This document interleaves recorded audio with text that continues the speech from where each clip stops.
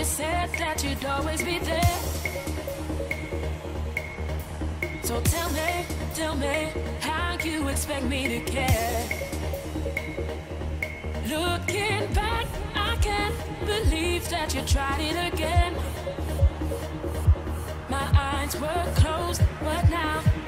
Fritzbox offers you different ways to connect to the internet. And this connection then can be used to provide other devices with access to the internet. To choose the details for your internet connection, please use the Expert Mode view in the menu of your Fritzbox. Internet Account information allows you to configure the way you want your Fritzbox to access the internet. In the standard mode, internet connection via DSL, your Fritzbox will be used as a router to provide a connection to the internet for all networked computers.